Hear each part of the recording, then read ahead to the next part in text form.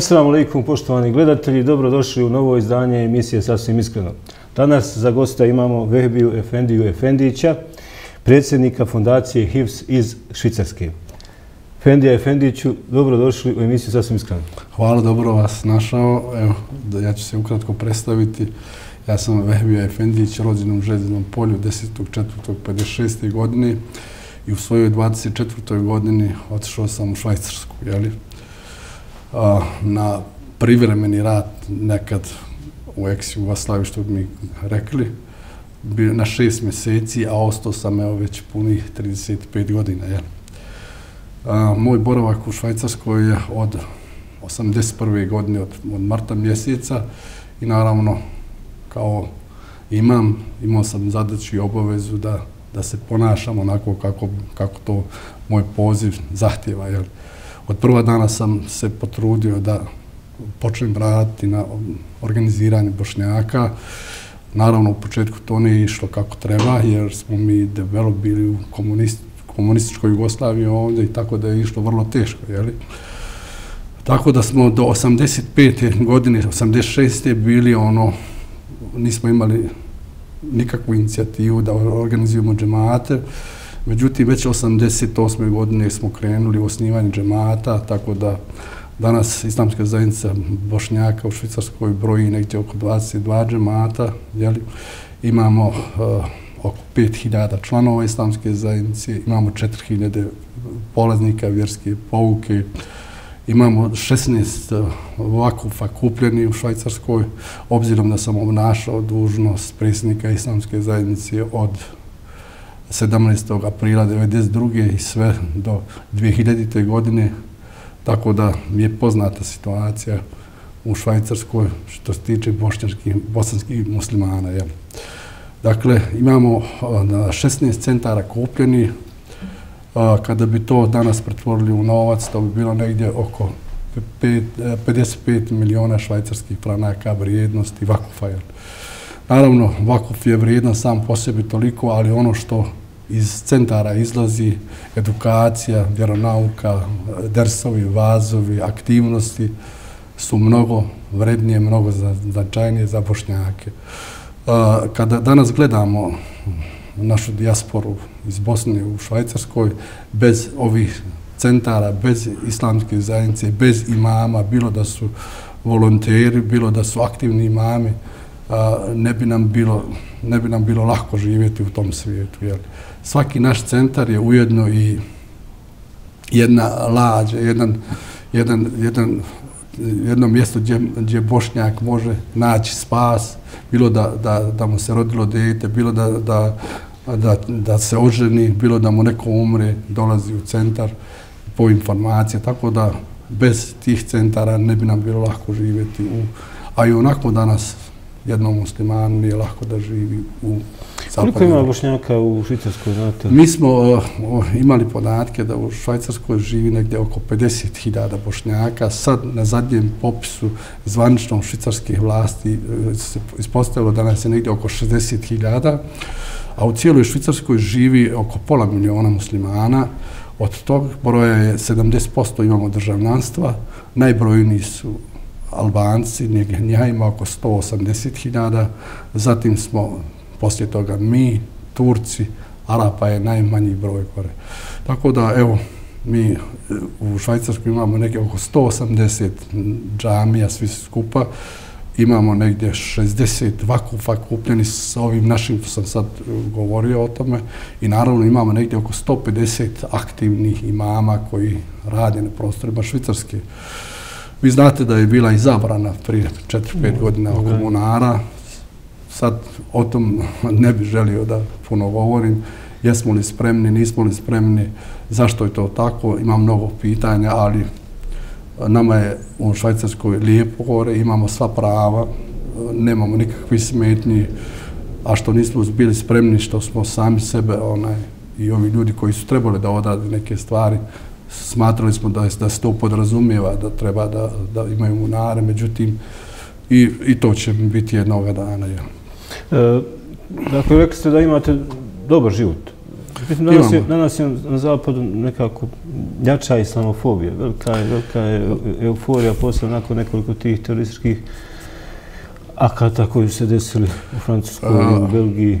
Ja moram biti iskren pa kazati da kada bi poredio situaciju muslimana u Švajcarskoj prije 11. septembra i sad da je to um, ogromna razlika. Do 11. septembra mogao si da sasvim normalno klanjaš u jednom parku, na klupi, u hotelu, gdje se nađeš. Međutim, posle 11. septembra situacija se promenila um, i nismo u tom polju puno, mi nemamo puno prostora da radimo i djelujemo, obzirom da, da živimo tu u jednoj zemlji koja je uređena, koja ima svoj zakon, ima svoje pravila igre, pravila ponašanja. Mi puno ne idemo, što bi rekli, u detalje, ali sudjelujemo onoliko koliko možemo da, da, da tu islamofobiju jeli, da je što manje u našim centrima i da njima prezentiramo sebe. Međutim, mi imamo još jedan dodatni, dodatni problem o kojem mnogi znaju ili neće da, da ne znaju, kako bih rekao, je li to su ovi konvertirani muslimani gore koji su primili islam, a njih u Švajcarskoj nije malo, negdje u zadnjih 20. godina ima oko 14-15 hiljada. Tako da, a 95% od tog broja ih je otišlo skroz u desno. Koji je razlog to, trebali bi sebe zapitati, ali evo, vrijeme će pokazati, a da nam nije lahko, zasigurno nije lahko, i u jednoj demokratskoj švajcarskoj se osjetila ta islamofobija. Istina nije kao u drugim zemljama, nije kao u drugim zemljama, nema ni tih terorističkih akta, akcija u Švajcarskoj, hvala Bogu da nema. I naravno mi smo se stavili na raspolaganje kao zajednice, kao džemati, kao građani Švajcarske da sudjelujemo u jednom lijepom i dobrom ambijentu, jeli, i sve ćemo dati da to da ne, ne dođe do nekakvih scena koje nisu za nas dobra i naravno za, za Švajcarsku kao državu, moj, moji sinovi, unuci, čeri žive gore, Jeli, mi imamo, ja sam juče imao razgovor sa švajcarskim ambasadorom ovdje i ono najiskrenije sam mu kazao kada putujem iz Bosne za Švajcarsku nemam nikakvog o, drugog osjećaja nego da idem u svoju zemlju. A tako isto kad putujem iz Švajcarske za Bosnu imam potpuno isti osjećaj. Možda će to neko reći ovako ili onako, ali obzirom da sam proveo više od polovine moga života gore i da sam na jedan način gradio tu zemlju, državu, međutim, naravno, kao i svaki, u svakoj zemlji, pa tako i u Švajcarskoj je, a, nema nekakav iskreni odnos prema ljudima koji, koji su došli tu. Većina njih misli da smo mi a, da smo mi e, izbjeglice gore, bez obzira što je u Švajcarsku došlo mali broj izbjeglica, došlo je oko 18.000, 15.000 je vraćano, samo su 3.000 gore ostalo koji su bili u logorima, koji su dobili stalni boravak, tu sliku treba da, da, da popravimo. Mi smo Švajcarsku gradili, mi smo Švajcarskoj punili budžete, mi smo dakle, sudjelovali aktivno u izgradnji jedne demokratske švajcarske države. Kako je danas zaposlao, kako se zaposliti muslimanu u Švajcarskoj? Je li danas je li otežano? Ako u Švajcarskoj, u Švajcarskoj je, uh, nije otežano. Jedno, naravno, jest ako jedna muslimanka želi da je pokrivena, onda će teže naći posao, ali taj vid diskriminacije još mi nismo osjetili. Jel? Tako da, evo, mi možemo dugo i našaroko govoriti o švajcarskoj, švajcarskim propisima, zakonima, uređenoj zemlji, od koje mi, nažalost, eh, ovdje u našoj lijepoj domovini Bosni i Hercegovini ne želimo. Mi smo godinama gore živjeli, pa ako je neko radio jedan posao, on ga je sigurno dobro ispekao, dobro ga naučio, i ne znamo prepisivati jedni od drugih i, i da sad jedna osoba koja je proboravila gore 40 godina, 35 godina je mnogo toga stekla, ne prenosimo to u našu zemlju i nema nekog interesa s obzirom da se možemo dotaći i te teme da eh, mi još u Bosni ne tretiramo pravilno eh, dijasporu. Dijaspora je naš ogromni potencijal. Na koji način, eto vi ste 35 godina gore, uočili ste taj, taj nedostatak e, saradnje matice i, i dijaspore. E, velika je tamo moć i ekonomska. Evo, pomenuli ste samo Dakle, koliko vrijednosti vakufa uh, ima, ako se to pretvori konvertibilne marke, koliko to dođe? To je 140-150 ja, milijuna yes, yes, To je imposantna cifra. To je, pazite, kada mi govorimo o tim ciframa, nekom, to nije abstraktno, to imamo u rukama. Dakle, da, u to papirima. Je, u papirima, jedan kroz jedan, dakle, to je, to je istina velika. Jel?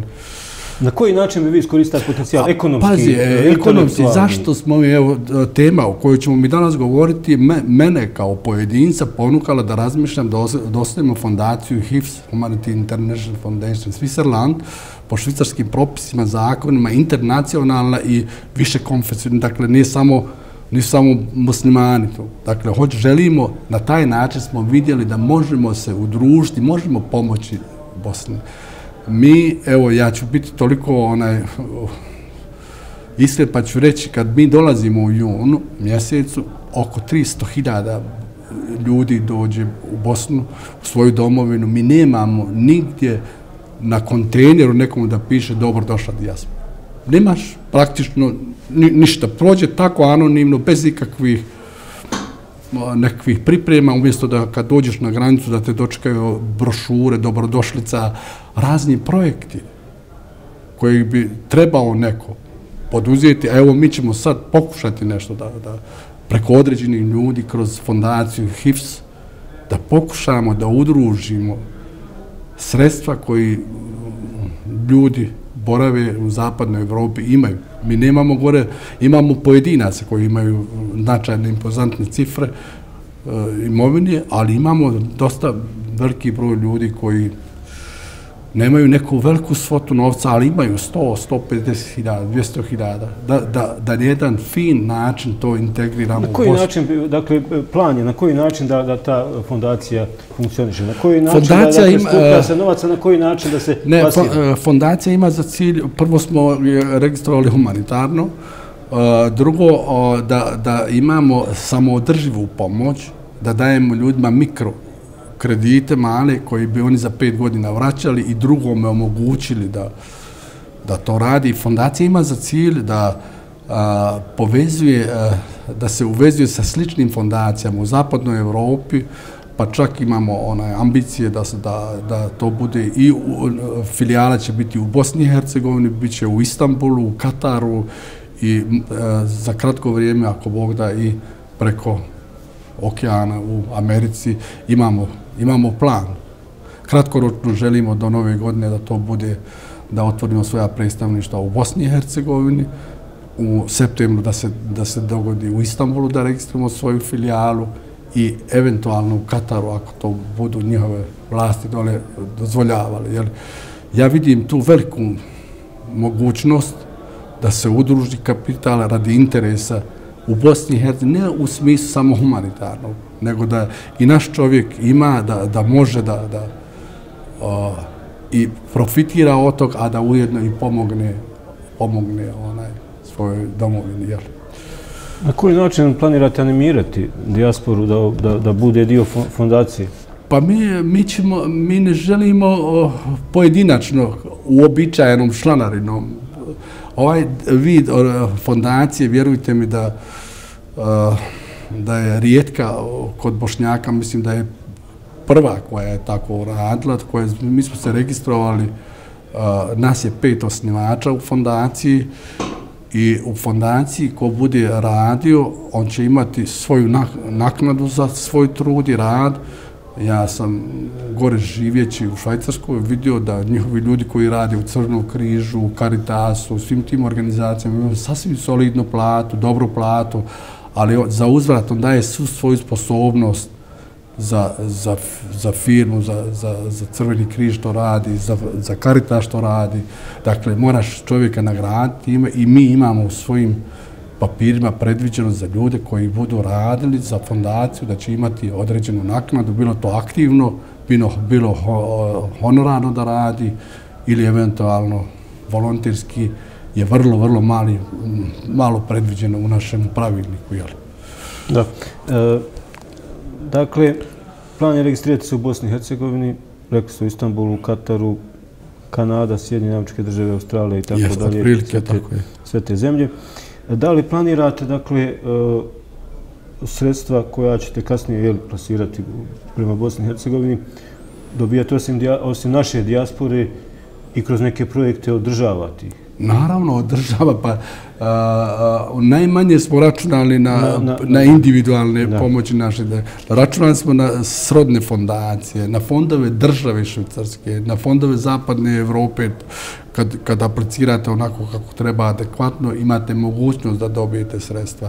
A s druge strane, sasvim a, a, otvoreno, jer smo i mi te fondove punili iz svojih zarada koje smo godinama gore radili. Ljudi su ostavljali gore i svoja zdravlja, radili su i teške poslove i lijepe poslove. Sad ova druge generacije, recimo mo, moji sinovi, čerke, sinovi, čerke drugih ljudi su već iškolovani, određeni broj fakulteta završili, radi lijepe poslove. Mi smo morali raditi ono što niko drugi nije htio raditi i s te strane imamo potpuno pravo, a mi ovdje a, smo imali jednu, jednu, ja to moram kazati, jednu zapreku kad bi mi aplicirali preko islamske zajednice, preko džemata, to je već dolazilo na jedan otpor.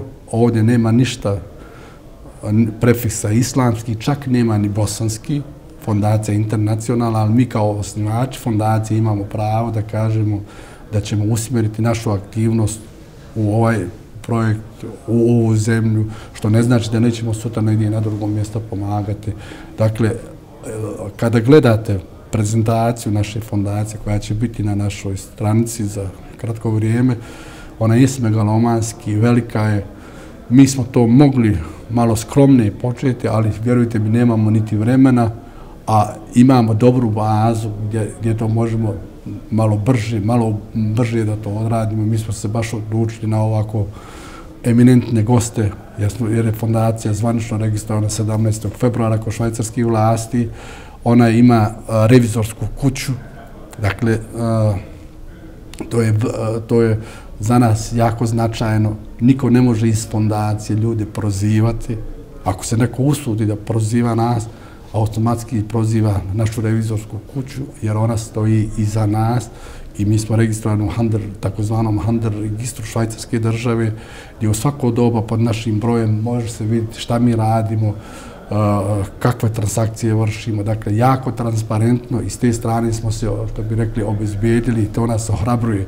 Ja moram kazati da je pet osnivača fondacije, da smo mi volonteri, volonterski radimo, a svi drugi koji budu sudjelovali će imati svoju naknadu za ono što se radi.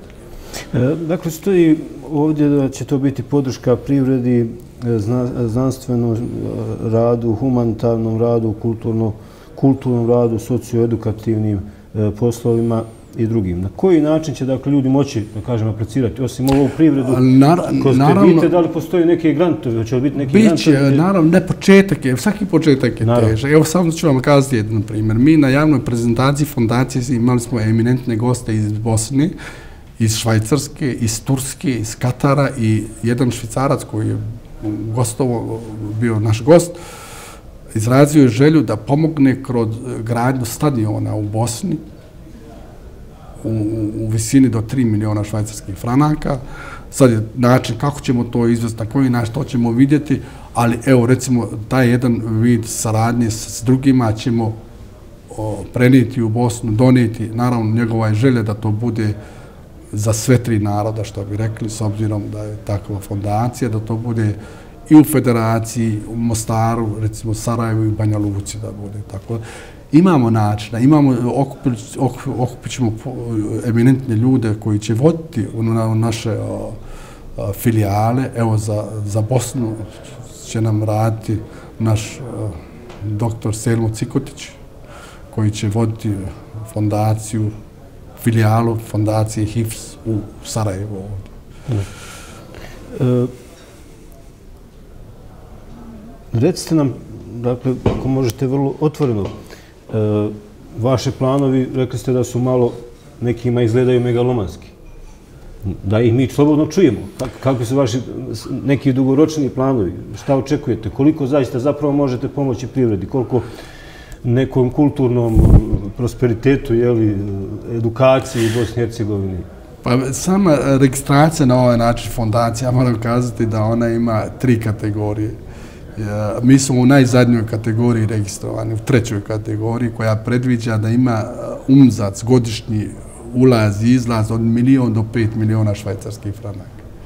Sve ispod ne bi zadovoljavali kriterije švajcarskih propisa gore i mi ćemo, mi imamo način, naćemo način, naćemo mogućnost, naravno sve što bi ja sad kazao unaprijed, je, je, mi imamo, imamo planove, imamo viziju, pokušat ćemo to uraditi sa ljudima i do sad s kim god smo razgovarali, nije nam niko onaj, što bi rekli, dao nešto što je, što je negativno, nego svi, svi su ljudi koji su saslušali, koji su vidjeli ideju da je pozitivna, dobra.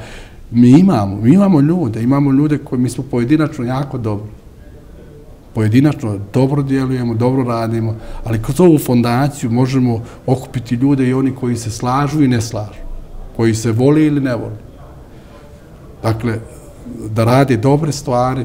Vi kada najđete danas sutra na, na, na, na, na ulici, recimo, neko kome treba pomoć, koje je na stradu, koje ima udes neki, ne, pom ne pitate ni koju ni šta, nego želite pomoć. Mi zaista želimo da, da dugogodišnje iskustvo pokušamo prenijeti iz jedne švicarske, zapadne Evrope ovdje. U zapadnoj Evropi živi pola miliona a, muslimana, bošnjaka iz Bosne i Hercegovine, to je impozantna cifra i mi to trebamo i moramo iskoristiti. Samo neka 10% ljudi svati poruku šta treba da radi, to je 50.000 ljudi. Znate šta može vratiti vojska od 50.000 ljudi? To je ogroman potencijal. Ogroman. Mi ćemo pokušati, ja moram onako privatno da kažem da sam sad došao u mojoj 60. godini u jednu u penziju u Švajcarskoj i kada bi se vratio na, da živim u Sarajevo, imao bi jednu lijepu penziju od 5000 maraka, mogo bi da uživam, da sjedim, da, ali ako je svrha života da to radimo, da ću to raditi. Ali ja smatram da to nije svrha života, da treba da i za sebe ostavimo, da pomognemo, da uradimo. I evo ja se stavio na raspolaganje. Naravno, to je jedan veliki izazov i za mene, i za moju familiju, i za moju ženu koja je sve to razumije. Evo, ja ću pokušati i na, na koncu neću biti odgovoran. A ja ću sad reći jednu, on, jedan hadis Božeg poslanika, poslanika gdje kaže hajdu nas men, njemfe u on nas, šaru nas men, ne doru nas. Najbolji je onaj koji pomaže ljudima, najgori je onaj koji šteti ljudima. Mi ćemo ovdje se svrzati u te ljude koji će pomagati drugim. Bez obzira na njegovu vjeru, bez obzira na... na... Ja.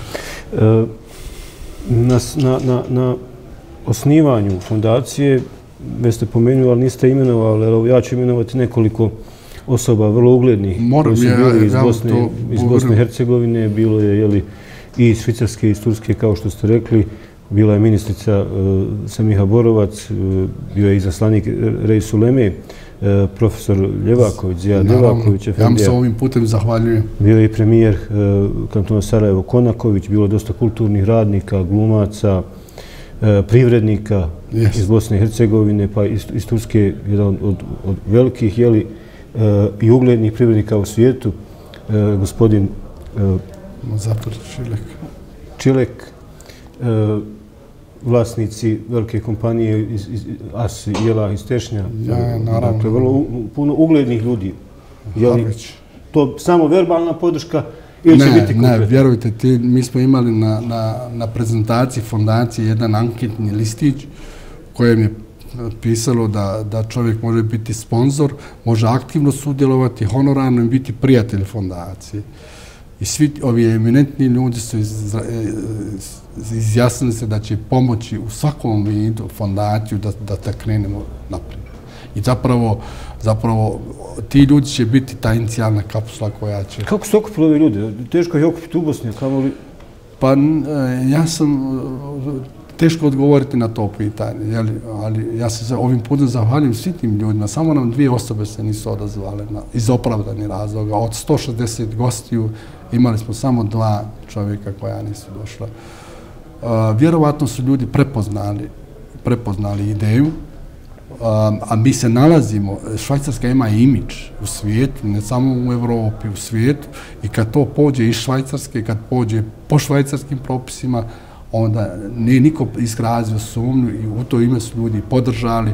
I evo ja pozivam sve ljude koji mogu doprinijeti na tom polju da, da startamo, moramo sve dok ne bude dijaspora počela, dok mi ne budemo počeli ulagati u Bosnu, neće drugi nema, nema interesa. Ako ja kao jedan bošnjak koji živim, radim i znam što, što, kako se radi i djeluje u Bosni, ne, ne, neću da uložim svoj dinar. Ko će doći sa strane? Kako može onaj treći da dođe? I dakle, moramo svojom, svojim ličnim primjerom pokazati da vjerujemo u budućnost Bosne, da vjerujemo u to. I naravno, ja, možda jedna tema koja je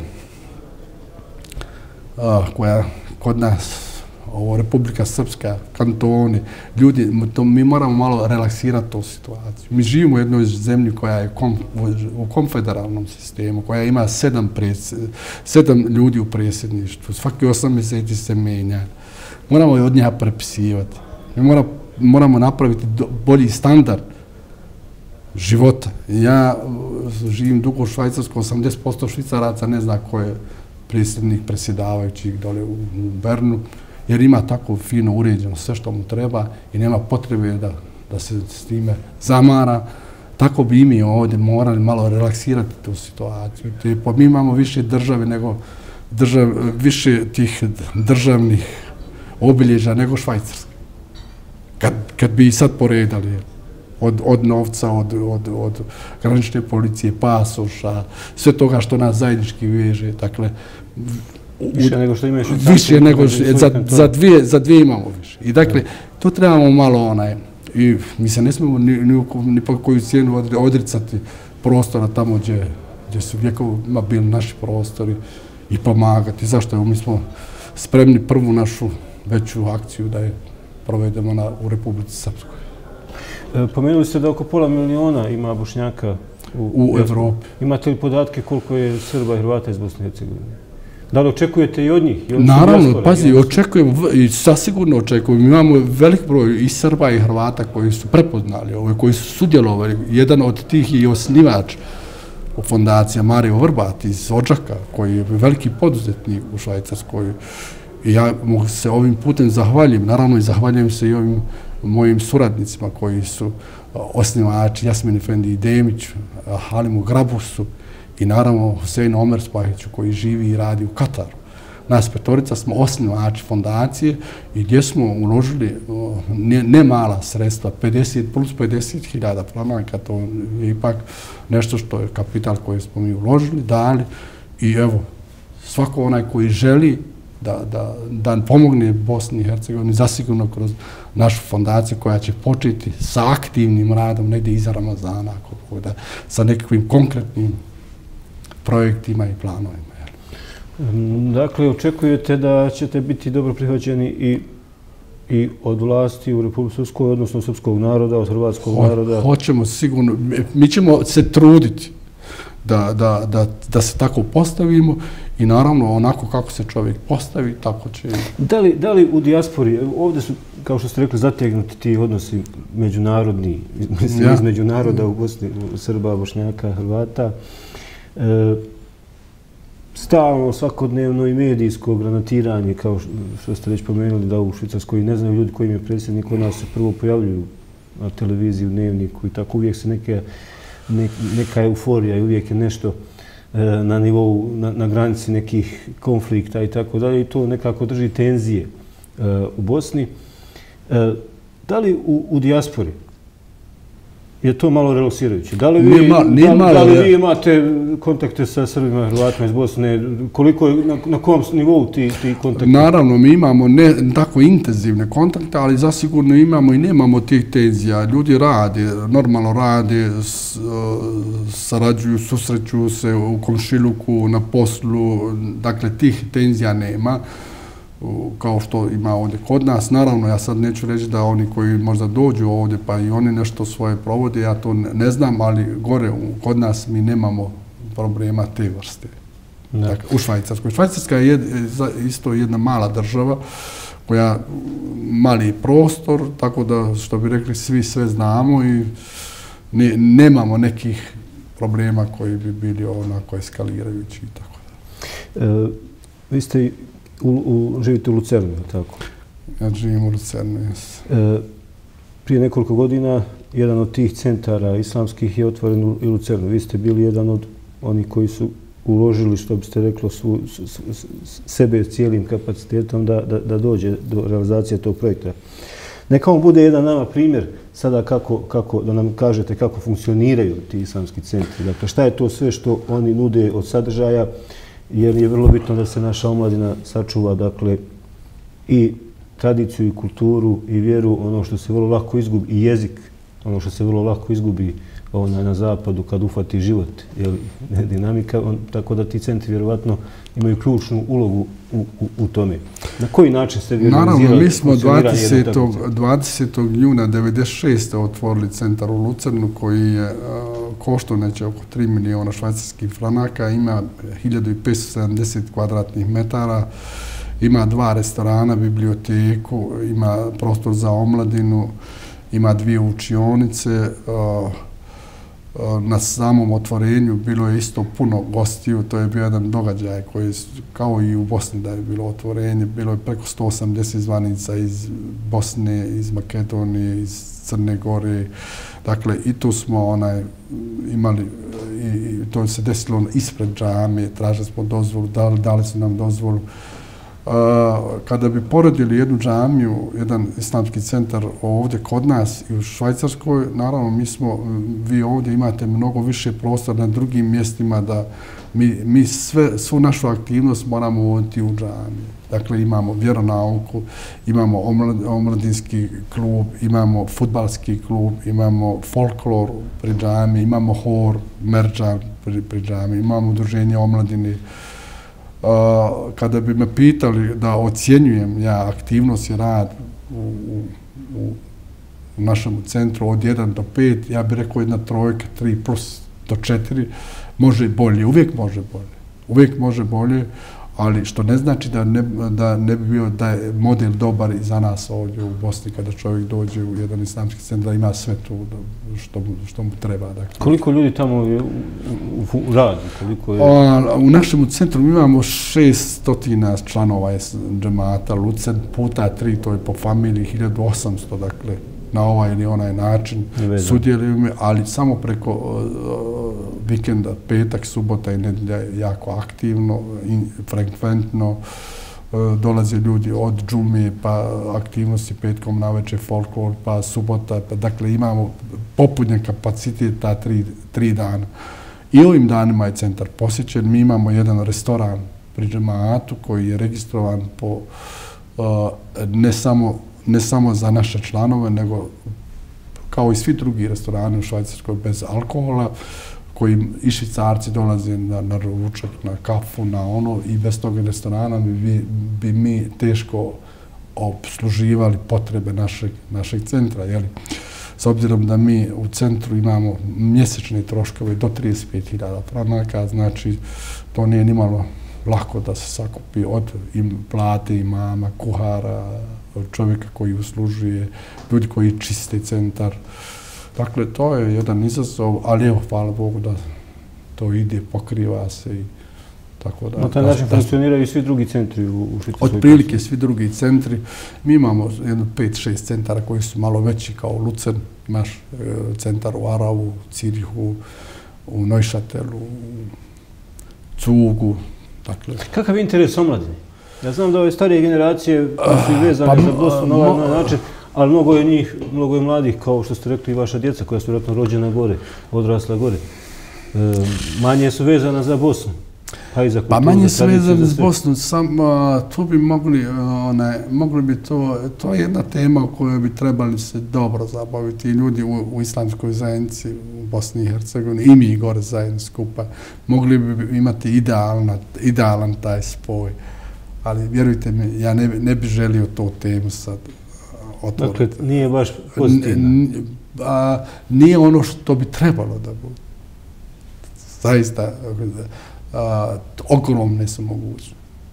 Ogromna saradnja a, a, ovog našeg a, ureda za dijasporu sigurno bi moglo biti, naravno sad će neko reći lako iz fotelje govoriti to, ali ja živim gore i radim i znam šta sve može, s kim možemo to raditi, ali moglo bi se poboljšati taj, s obzirom da imamo regulisan status gore naših imama, naše islamske zajednice u Bernu koja je registrovana 1995. godine, tri godine smo mi taj status svoj gradili, preko 70 sastanaka imali. Oni su čak menjali jedan dio svog ustava da bi, da bi imama omogućili da imaju vize. Dakle, to ljudi sa strane kad dođu i vide, ne znaju taj trnoviti put. To je, i, i sam, sam centar napraviti u Švajcarskoj je jedno, jedno veliko, velika stvar, da ti imaš svoje dozvole, sve, sve što treba. Mi imamo mezarluke svoje u Lucernu, dunum i po zemlje. Trebalo je to sve onaj,